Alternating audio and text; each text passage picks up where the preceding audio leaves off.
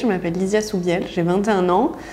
Euh, j'ai commencé avec un bac STHR, euh, donc spécialisation hôtellerie à Argelès-sur-Mer. Ensuite, j'ai continué avec un BTS à Montpellier, toujours en spécialisation hébergement. Et après, je suis montée à Paris en 2020 pour intégrer euh, la LH en licence que j'ai eue. Et maintenant, je suis en master pour les deux dernières années de mes études.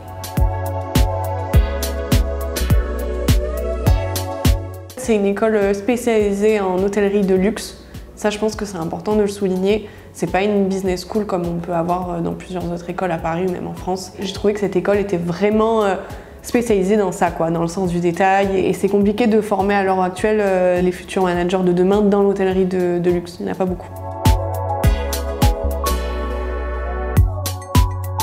Alors là, on fait que de l'hébergement cette année en master parce qu'au bout de 5 ans, on est censé savoir ce qu'on veut faire. Mais euh, pour les gens qui ne savent pas, alors euh, les 4 premières années, on fait un peu un 360 euh, de l'hôtellerie.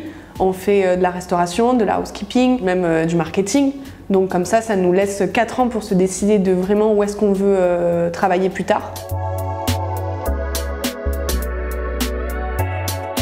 On vend du rêve aux gens, on leur fait vivre une expérience et moi je trouve qu'il n'y a rien de mieux que ça que quand tu as un client qui vient te voir et qui te dit mais ce, café, parce que ça peut rien qu'être qu'un café, hein, ça peut pas juste être euh, une nuit dans un hôtel, tout ça, mais il s'en souviendra toute sa vie et nous c'est ça qu'on fait vivre aux gens.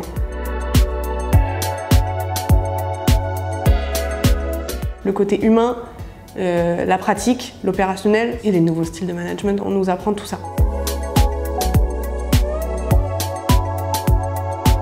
C'est vraiment cet esprit famille qui me, plaît énormément et tous les jours on est tous hyper contents de venir bosser. Tout euh, ce qu'ils nous font euh, découvrir avec les voyages, les expériences palace, les luxury expériences, ça, nous fait nous mettre à la place du client euh, une heure ou deux par semaine et c'est magique quoi.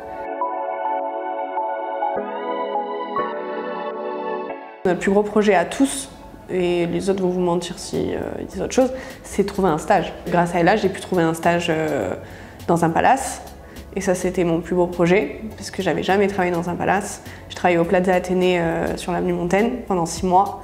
Euh, et, ça, c'est, je trouve, une de mes plus belles réussites ici, parce que c'était vraiment sympa. Au Plaza Athénée, j'étais réceptionniste euh, pendant six mois et j'ai fait aussi guest relation.